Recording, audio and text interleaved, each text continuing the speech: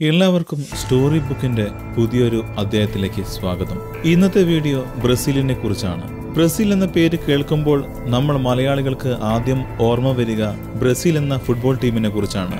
ഏറ്റവും കൂടുതൽ ഫിഫ ലോകകപ്പ് ഫുട്ബോൾ കിരീടം നേടിയ ടീമാണ് ബ്രസീൽ.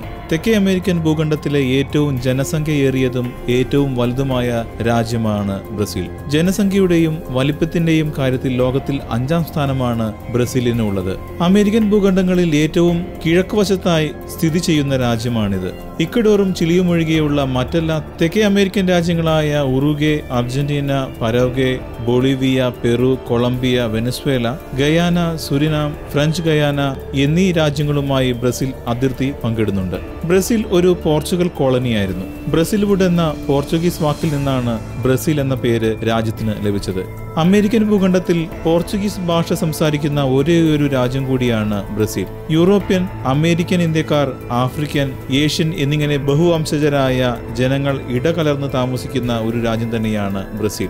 ലോകത്തിലെ ഏറ്റവും അധികം റോമൻ കത്തോലിക്കൻ മതവിഭാഗക്കാർ അധിവസിക്കുന്നത് ഇവിടെയാണ്. ഇനി ബ്രസീലിനെ കുറിച്ച് പലർക്കും അറിയാത്ത ചില വസ്തുതകളാണ് പറയാൻ പോകുന്നത്. അതിനു മുമ്പ് ഈ ചാനൽ നിങ്ങൾ ആദ്യമായാണ് കാണുന്നത് എങ്കിൽ സബ്സ്ക്രൈബ് ചെയ്ത് ബെൽ ബട്ടൺ ക്ലിക്ക് ചെയ്യുക. ഈ വീഡിയോ നിങ്ങൾ ഫേസ്ബുക്കിലാണ് കാണുന്നത് എങ്കിൽ ഈ പേജ് ലൈക്ക് ചെയ്ത് ഫോളോ ചെയ്യാനും മറക്കരുത്. ഇനി ബ്രസീലിനെ കുറിച്ചുള്ള ആദ്യ വസ്തുത എന്ന് പറയുന്നത് ബ്രസീലിന്റെ പതാകയിൽ കാണുന്ന ഇരുപത്തിയേഴ് നക്ഷത്രങ്ങൾ ബ്രസീലിലെ സംസ്ഥാനങ്ങളെയും ഫെഡറൽ ജില്ലകളെയുമാണ് പ്രതിനിധീകരിക്കുന്നത്. രണ്ടാമത്തെ കാര്യം ബ്രസീലിലെ മീൻപിടുത്തക്കാർ ഡോൾഫിനെ ഉപയോഗിച്ച് മീൻപിടുത്തം നടത്തുന്നു എന്നുള്ളതാണ്. വല ഉപയോഗിച്ച് കെണി ഉണ്ടാക്കിയ ശേഷം ആ കെണിയിലേക്ക് ഡോൾഫിനുകൾ മീനുകളെ പേടിപ്പിച്ച് ഓടിപ്പിക്കും. അത് നേരെ വന്ന് ആ കെണിയിൽ അകപ്പെടുകയും ചെയ്യും. ഇത് ബ്രസീലിൽ വളരെ പണ്ട് കാലത്തെ പ്രചാരത്തിലുള്ള ഒരു രീതിയാണ്. ഇനി മൂന്നാമത്തെ കാര്യം. ആയിരത്തി എണ്ണൂറ്റി അറുപത്തിനാല് മുതൽ ആയിരത്തി എണ്ണൂറ്റി എഴുപത് കാലഘട്ടത്തിൽ പരാഗ്വയ്ക്കെതിരെ ബ്രസീൽ അർജന്റീന ഉറുഗെ എന്നീ രാജ്യങ്ങൾ ഒരുമിച്ച് നടത്തിയ യുദ്ധം ലാറ്റിൻ അമേരിക്കൻ ചരിത്രത്തിലെ തന്നെ ഏറ്റവും വലിയ ചോരപ്പുഴ ഒഴുകിയ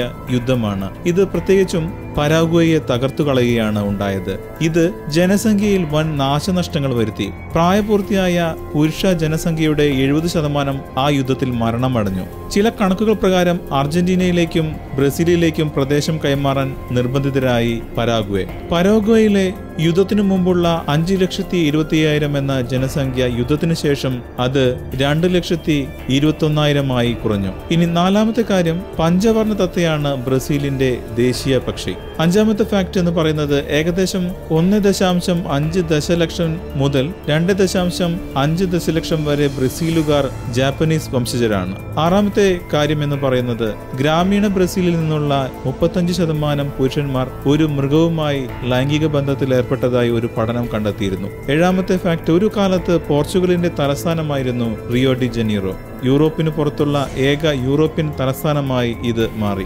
എട്ടാമത്തെ കാര്യം എന്ന് പറയുന്നത് കുഞ്ഞുങ്ങൾക്ക് പാൽ നൽകാൻ കഴിയാത്ത അമ്മമാർക്ക് ബ്രസീലിൽ രാജ്യത്തുടനീളം സ്ത്രീകളുടെ മുലപ്പാൽ വിതരണം ചെയ്യുന്നു എന്നുള്ളതാണ്. ഒമ്പതാമത്തെ ഫാക്ട് ലോകത്തിലെ ഏറ്റവും കൂടുതൽ കൊലപാതക നിരക്കുള്ള ഇരുപത് നഗരങ്ങളിൽ പകുതിയും ബ്രസീലിലാണ്. പത്താമത്തെ ഫാക്ട് എന്ന് പറയുന്നത് ലോകത്തിലെ ഏറ്റവും ഉയർന്ന വനനശീകരണ നിരക്ക് ഇന്തോനേഷ്യയിലാണ്. രണ്ടാം സ്ഥാനത്ത് ബ്രസീലാണ്. പതിനൊന്നാമത്തെ ഫാക്ട് ബ്രസീലിലെ ഏറ്റവും പോപ്പുലറായ സർനെയും സിൽവയാണ്. ഉദാഹരണം ബ്രസീൽ ഫുട്ബോൾ കളിക്കാരൻ തിയാഗോ സിൽവ. സിൽവ എന്ന വാക്കിനർത്ഥം കാട് എന്നാണ്. പന്ത്രണ്ടാമത്തെ ഫാക്ട് ഒരു ഗ്രാം കൊക്കൈൻ ഓസ്ട്രേലിയയിൽ ഇരുന്നൂറ്റിയേഴ് ഡോളറാണ് വില. പക്ഷെ ബ്രസീലിൽ ഇതിന് വെറും ഒമ്പത് ഡോളറാണ്. അതായത് ലഭ്യത വളരെ കൂടുതലാണ് എന്നുള്ളതാണ്. ഡ്രഗ് മാഫിയയുടെ വേരാഴുന്ന രാജ്യം കൂടിയാണ് ബ്രസീൽ. പതിമൂന്നാമത്തെ ഫാക്റ്റ് ഓരോ പത്ത് മിനിറ്റിലും ബ്രസീലിൽ ആരെങ്കിലും കൊല്ലപ്പെടുന്നു എന്ന് കണക്കുകൾ പറയുന്നു. പതിനാലാമത്തെ ഫാക്റ്റ് ആമസോൺ മഴക്കാടിനുള്ളിൽ വടക്കു പടിഞ്ഞാറൻ ബ്രസീലിൽ സ്ഥിതി ചെയ്യുന്ന ടുമുക്കുമാക് നാഷണൽ പാർക്ക് ലോകത്തിലെ ഏറ്റവും വലിയ ഉഷ്ണമേഖല ഫോറസ്റ്റ് പാർക്കാണ്. ഇത് ബെൽജിയത്തെക്കാൾ വലുതാണ്. പതിനഞ്ചാമത്തെ fact Rio Grande do Sul എന്ന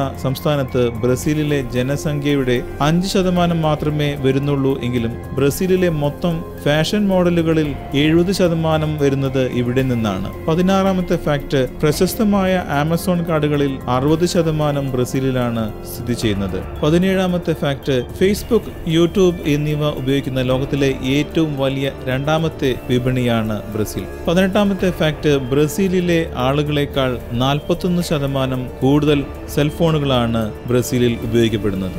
ഈ വീഡിയോ ഇഷ്ടമായെന്ന് കരുതുന്നു. ഇഷ്ടമായാൽ ലൈക്ക് ചെയ്യൂ. ഇതുപോലെ പുതിയ വീഡിയോകൾ ലഭിക്കാൻ ഈ ചാനൽ സബ്സ്ക്രൈബ് ചെയ്ത് തൊട്ടടുത്ത് കാണുന്ന ബെൽ ബട്ടൺ കൂടി ക്ലിക്ക് ചെയ്താൽ നിങ്ങൾക്ക് ഞങ്ങൾ അപ്ലോഡ് ചെയ്യുന്ന ഏറ്റവും പുതിയ വീഡിയോകളുടെ നോട്ടിഫിക്കേഷൻ ലഭിക്കുന്നതായിരിക്കും. സബ്സ്ക്രൈബ് ചെയ്തവർക്ക് നന്ദി പറഞ്ഞുകൊണ്ട് പുതിയ വിഷയവുമായി വരുന്നതുവരെ ഗുഡ് ബൈ